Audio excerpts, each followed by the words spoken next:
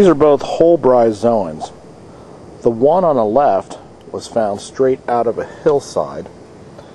And you can see the arms and the branching arms of this bryozoan. And there's a lot of matrix in between the arms, but it's very rough edged and very lifelike. And we have some uh, detail of the external arms. Matter of fact, we can see even the uh, we can even see the borings of uh, snails on some of these uh, arms. All those little tiny holes were made by the rasping tongue of a uh, snail. Okay. The bryozoan on the right was found at the Little Miami River.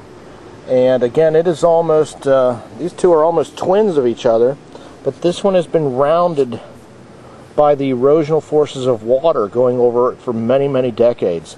So it has been worn smooth. And it is just beautifully tumbled, smooth to the touch, and you can see all the arms. My neighbor, my next door neighbor found this canoeing on the Little Miami. He just thought it was a beautiful rock. He didn't know what it was. It's incredibly weathered out, weathered and tumbled by nature. By sitting in the water, for many decades and having all the particles of stone wash past it. You know, many millions of uh, particles over the years have gone by and just sandblasted this thing smooth and tumbled it smooth. It's just a thing of beauty. The arms of the bryozoan, they're all obliterated, but you can just see the smooth, and the matrix in between it is uh, tan, and it's kind of cream colored where the uh, arms are. It's just a thing of beauty. It's one of the most beautiful weathered out bryozoans I've ever seen. I'm going to pour some water on it just to show you the wet version. It makes it much darker, the contrast will come out. Okay, I've wetted both of them now. You can see uh, this one you lose some of the contrast. This one definitely picks becomes the background. The matrix becomes much darker.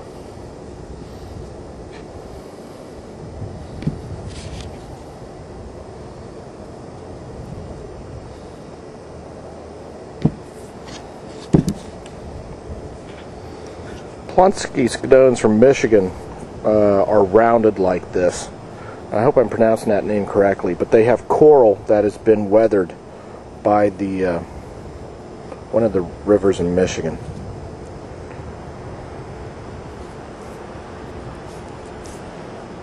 I think it's Devonian age. But anyway, here's this rounded bryozoan. Just lovely.